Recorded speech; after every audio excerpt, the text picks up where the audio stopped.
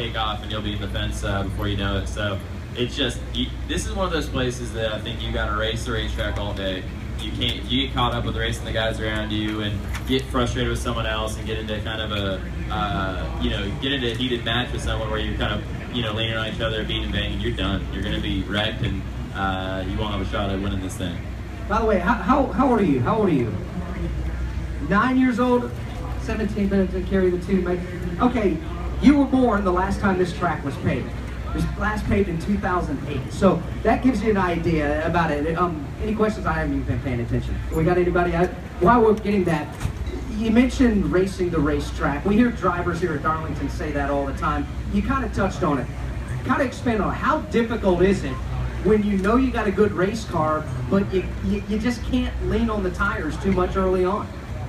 Yeah, I mean it's one of the most challenging things as a driver, and I think that this is one of if, if you can figure out kind of how to get around this place and how to how to manage this racetrack, it says a lot about you as, as maturity as a driver. So, um, you know, this is just a, a day where it's hard to manufacture finishes. You know, it's like if you have a bad pit stop and get mired back in traffic, it's gonna be tough to overcome. So really, this is one of the racetracks where, in my opinion, it takes the whole thing. You know, this is where it shows as a team who, where you're at because if you can if you can check all the boxes and do everything right, you're gonna have a good day. But if one part of your race team isn't isn't on point, driver included, it's gonna be a bad day. So uh, we're we're you know I think ready for that, and we're up to the challenge. And I think that uh, these you can have a good day at Darlington. You walk away with a huge smile on your face because it's it's you know a pretty fun racetrack. It's just uh, can be very demanding and eat you alive kind of.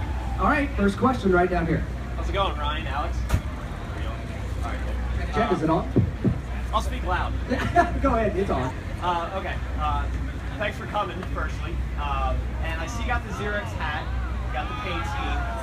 How long was all of it in the works, and where'd you get the hat? Was that an eBay purchase, or? Yeah, uh, so it's it was in the works for a while. Yeah, I mean, I think when when you know, this this thing has taken on uh, life of its own, the throwback weekend. You know, and every team's being a part of it. Um, and you know, when you're when you're talking about running someone else's paint scheme, it, there's approvals. You got to talk to the race team. You got to talk to just get it okay. You know, and then obviously I have a great sponsor with Lilly Diabetes, uh, and so we've got to you know kind of run it up the run it up the chain with them.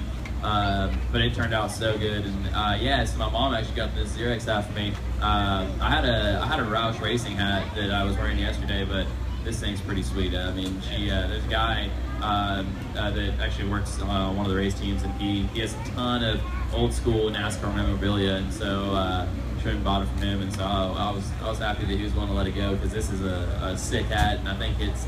Uh, I mean, honestly, just to find something like this is, is pretty cool. Whether I was racing this car or not, this is something that I would like to have in my collection.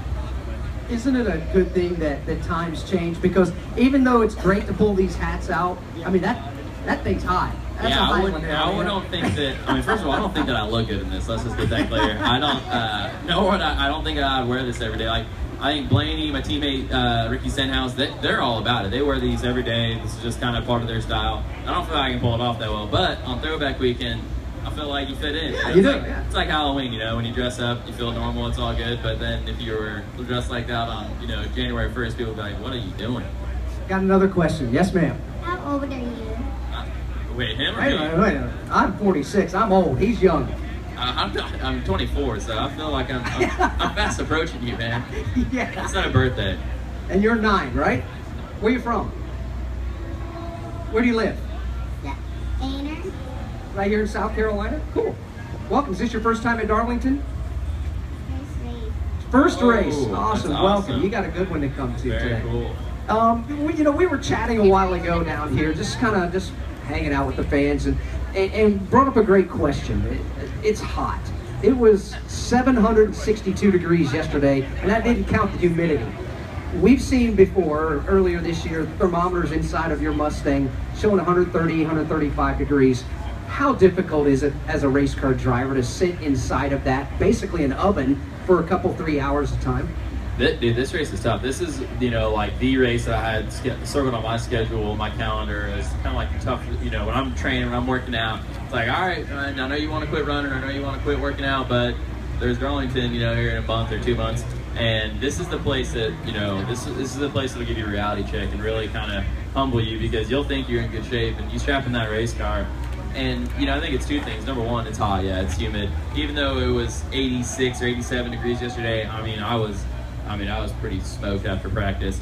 Um, and you know, it's just it's so demanding of a racetrack that not only is it just hot, but you are working your guts out inside that race car. So uh, it just it just kills you. I mean, in our races, 200 miles, 250 miles, uh, the Cup race. I, I mean, I have massive respect for those guys. I mean, they they're in there and they're in those conditions for a long time and. Uh, this is a race where you'll lose, you know, six to eight pounds, no problem, you know, and just be completely drained by the end of the day. So dehydration's, I mean, yeah, dehydration's going to be key to watch. Staying hydrated. Uh, I went on a run yesterday, and you know, like a typical run for me is four or five miles, and I ran two and a half, and, I mean, I was done, like crawling back in my bus and uh, looking for water. Went on a run yesterday. Typical run, yeah, four or five miles. My exercise yesterday after the race, we went to the bowling alley and drank beer and ate pizza. And my exercise consisted of grabbing another slice of pizza. So, I mean, I'm yours sounds smarter than mine. I, I, mine seems like a lot more work. do we have another question down here? Bashful, is that what we got going on? This is Georgia Bulldog. You guys are confused. Carolina Bulldogs. She's confused. We'll talk slowly to you. oh, he's giving you the thumbs down. Carolina to play the NC State Wolfpack today. Go ahead.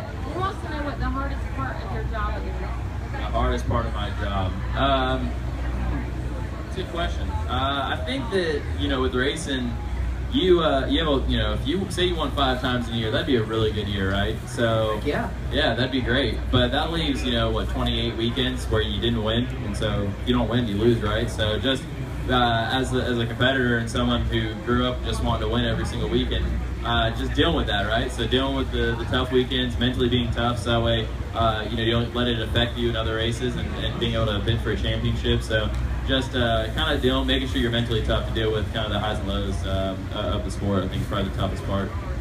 Good answer to a good question, really is. You get the honor of the last question for Ryan Reed. It's Don't mess it up. It's a really easy one. Okay, so you said you lose eight pounds on 135, but it's 135 degrees in there. I was just wondering if you needed a partner in crime. You said it was an easy one, but that's Oh, yeah, no, it's. Uh, I mean, it's it's a lot like if you went and sat in the sauna for two or two and a half hours. It's it's brutal. So it's uh, man, these uh, these conditions, and it seems like you know the more aero we get these things, it seems like the hotter it gets in there. You know, the teams do a really good job making sure these things are sealed off, and you know they're not leaking air inside the cab of the car and costing us speed. Uh, but yeah, it's it's a warm one. So uh, this today will be uh, a good test, and I think this is a great opportunity for the guys who you know take their fitness seriously, work out a lot, uh, and kind of you know really think of themselves as athletes. Because then by the end of the race, even if your car's not perfect, you might be able to dig in and find a little extra that they can. Well, that's why you're one of the very few in this world that can do this type of thing. If it was easy, all of us could do it. You're a world-class athlete. Hey guys, he's right driving the, the, the Lilly Diabetes Ford Mustang today here at Darlington. 200 miles. Go get him today, Ryan. Yes, sir. Thank you guys for coming out. I really appreciate it. Ryan Reed, everybody.